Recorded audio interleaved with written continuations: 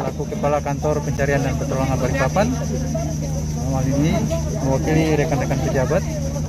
Pada hari ini Minggu tanggal 24 Januari 2021 pukul 13.30 kami melaporkan dari Dermaga Somber bahwa tim dari kantor pencarian dan pertolongan Balikpapan telah tiba dengan selamat dari eh, dermaga TPI Mabuju dengan tujuan di eh, Balikpapan.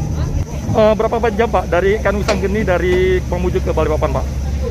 Tadi pada pukul 04.30 ya, mereka berangkat dari TPI Mabuju dengan tujuan Balikpapan kurang lebih sekitar 10 jam perjalanan yang direncanakan pukul 15 tapi pada pukul 13.30 sudah tiba di dermaga Somber Balikpapan.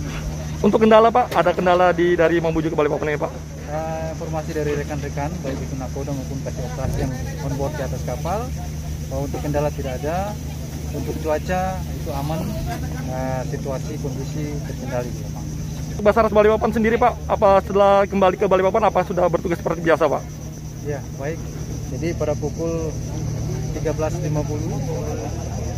eh, dengan selesainya perbantuan baik itu personil maupun sarana prasarana dari eh, kantor SAR Mamuju itu pelaksanaan kegiatan perbantuan kami nyatakan selesai dan kepada seluruh personil untuk bisa melaksanakan tugas masing baik itu kesiapsiagaan maupun tugas-tugas lainnya.